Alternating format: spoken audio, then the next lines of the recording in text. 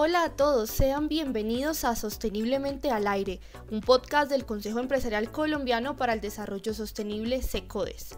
Mi nombre es Camila Carrillo, profesional de comunicaciones de la organización y tendré el placer de compartir con ustedes cada 15 días experiencias y acciones empresariales que demuestran cómo la sostenibilidad es estratégica para todos los negocios.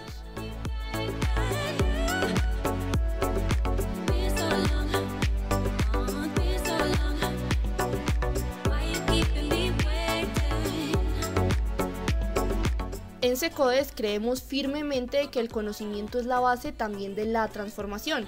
Así que lo invitamos a que conozca más a fondo cómo las empresas trabajan por el desarrollo sostenible y asimismo inspirarlo para seguir haciendo parte del cambio. Es hora de actuar, es hora de un cambio de mentalidad. Acompáñenos a seguir transformando empresas para mejorar vidas.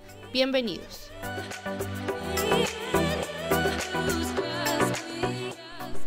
Hoy, en nuestro primer capítulo de este espacio, hablaremos sobre los informes de sostenibilidad, una herramienta de medición de gestión a nivel interno y externo que tienen las empresas y que permite hacer un seguimiento de los objetivos ambientales, sociales y económicos y además permite divulgar su gestión.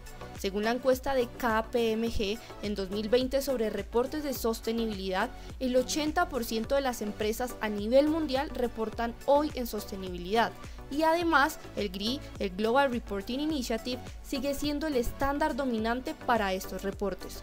Por eso hoy quisimos hablar con Paula Cuellar. Yo soy Paula Cuellar, directora de sostenibilidad de Corona Industrial.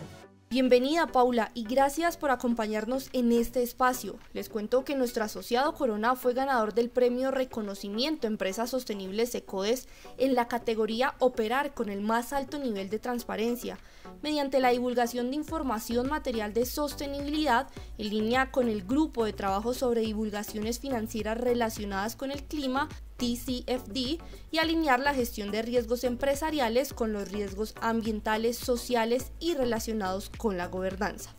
Corona realiza anualmente su informe de sostenibilidad bajo los estándares más altos de transparencia y calidad, enfocados siempre en la triple cuenta de resultados y cómo aportan en términos económicos, sociales y ambientales. Queremos escuchar desde la experiencia de Corona cómo es la elaboración de este informe, recordando además que muy pronto saldrá el informe de la gestión 2021. En la elaboración del informe hacemos eh, no solo un tema de análisis de nuestros grupos de interés y asuntos materiales, sino que nuestro informe también está auditado por un tercero, lo que nos garantiza que la, la información que entregamos pues, es totalmente eh, fidedigna. Paula, y sin duda alguna, tanto el año 2020 como el año pasado fue una época difícil, marcada para todos por la pandemia. Diferentes sectores además fueron afectados y por tanto tuvieron que enfrentar diferentes retos. Queremos que nos cuente cómo fue hacer un informe en medio de esta crisis sanitaria. Para la elaboración del informe del 2020, dado que un año tan complicado por los temas de pandemia, le apostamos a trabajar pues en todas las iniciativas que hicimos de, de pandemia, tanto con nuestros colaboradores para mantener como con terceros para ayudarlos en las épocas en que hubo los cierres. Y em, tuvimos pues varios, varios avances en, eh, con los distintos grupos de interés que te puedo ampliar más adelante pero sé que no solo enfrentaron retos por esta coyuntura, también año tras año asumen diferentes retos para la elaboración de este reporte. Comparta por favor con nosotros y con todos los que nos escuchan en este podcast cuáles son esos retos que se pueden enfrentar como empresa a la hora de elaborar un informe. Corona, pues dado el tamaño que tiene, es una empresa pues muy grande, entonces uno de los retos es la la, homo, digamos, la homogenización de indicadores y la verificación de, de, que estén bien. El segundo reto es cómo hacer para que el informe eh, no sea tan largo, sino que efectivamente logremos capturar a las audiencias con, su, con el contenido que le interesa a cada una, eh, pero de una manera donde la gente nos lea. Y el tercer reto eh, es la difusión, que llegue a la mayor cantidad de gente posible y que todo el mundo logre entender lo que hace Corona y el aporte que genera tanto en términos sociales como ambientales.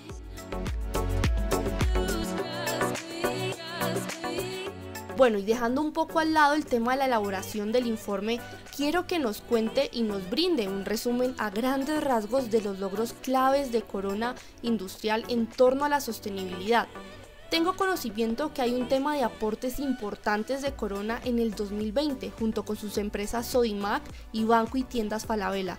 Cuéntenos por favor más de esto. Bueno, Corona en el 2020 hizo un aporte eh, con sus empresas eh, Sodimac y Banco Falabella y Tiendas Falabella, donde se nos donaron más de mil millones de pesos para fortalecer la capacidad hospitalaria de Bogotá. Eh, desde Corona también donamos 100 millones a la Universidad de Antioquia para ampliar la capacidad para hacer pruebas de COVID-19 y entregamos 5.800 bonos de mercado a nuestros influenciadores en las épocas en que fueron los cierres principalmente.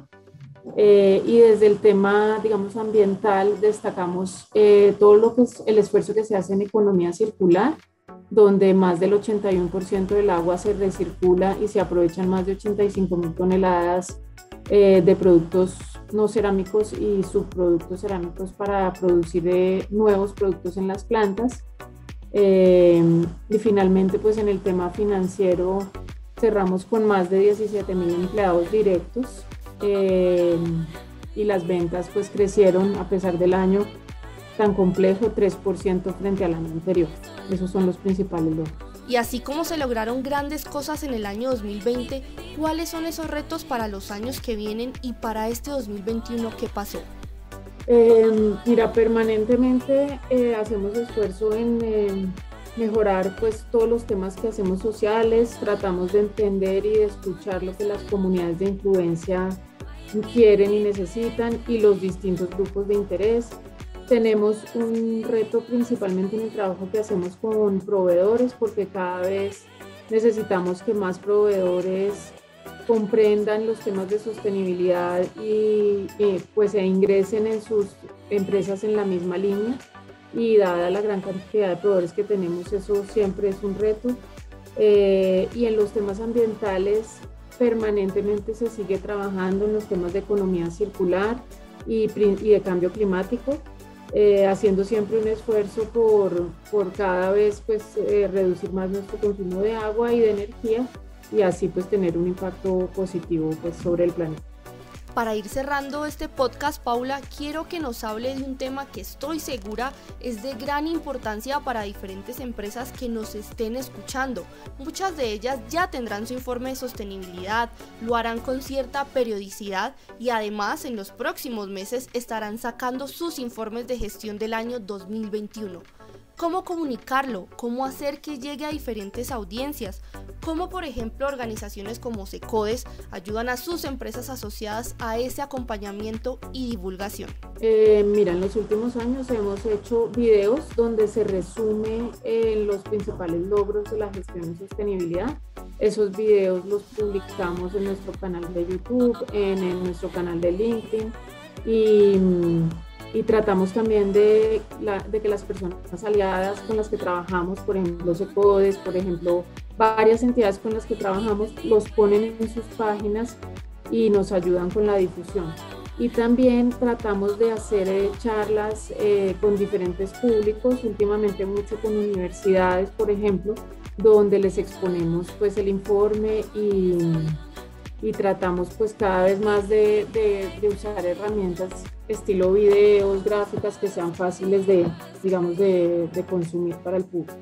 Este espacio tiene el fin de aportar conocimiento y asimismo inspirar a que otros actores, otras empresas comiencen o continúen en la implementación y uso de estas herramientas. Desde su experiencia, ¿cuál es ese mensaje para las personas que nos están escuchando? Lo que siempre les decimos a las empresas, por ejemplo, en el trabajo que hacemos con proveedores para que hagan sus informes, es que el proceso pareciera difícil al principio, pero en la medida en que lo vas conociendo vas entendiendo el valor que genera, eh, vas viendo, pues, y te vas volviendo experto, vas viendo todas las oportunidades que tiene tener el informe. Entonces, eh, mi mensaje pues siempre es de, ánimo y de, que esta es una oportunidad de hacer eh, y de comunicar los temas de una manera distinta.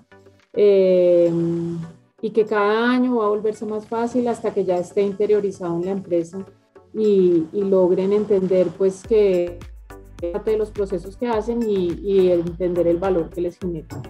Paula, nuevamente muchas gracias por acompañarnos en este espacio y por compartir con nosotros su experiencia y conocimiento. Este podcast es producido por el área de comunicaciones de SECODES. Gracias a todos los que nos escuchan y no olviden que pueden seguirnos en nuestras redes sociales. En Twitter nos encuentran como arroba secodes, en Instagram como arroba y en LinkedIn, Facebook y YouTube como Secodes Desarrollo Sostenible. Nos escuchamos en un próximo capítulo.